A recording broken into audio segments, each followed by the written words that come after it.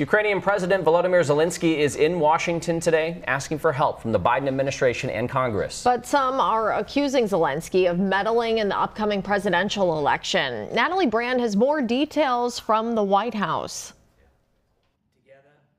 Ukrainian President Volodymyr Zelensky met with President Biden at the White House to sell his plan to win the war against Russia. I raised with President Biden the plan of victory. Today we are preparing to discuss the details to strengthen the plan. President Biden, in his final months in office, is promising to surge security assistance to Ukraine. Today I'm proud to announce a new $2.4 billion package of security assistance. Mr. President, can you read into his war? Of course we have to. On Capitol Hill, senators who met with Zelensky indicated one of his top requests was to be able to strike targets inside Russia. President Zelensky says he wants to end this war through negotiations.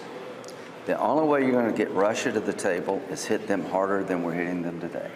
As Republicans remain divided over additional security assistance to Ukraine, former President Trump has not met with President Zelensky during this latest trip to the U.S. The president of Ukraine is in our country, and he's making little nasty aspersions toward your favorite president, me. Trump allies in the U.S. House say they will launch an investigation into Zelensky's visit to an ammunition facility in Scranton, Pennsylvania, with three of the state's Democrats, accusing Zelensky of campaigning in a key battleground state. I think it was wildly inappropriate what happened, and uh, we cannot have foreign nations interfering in our elections, and I think that's what it, it amounted to. Following the visit, the House Speaker called on Zelensky to fire Ukraine's ambassador to the U.S. Natalie Brand, CBS News, the White House.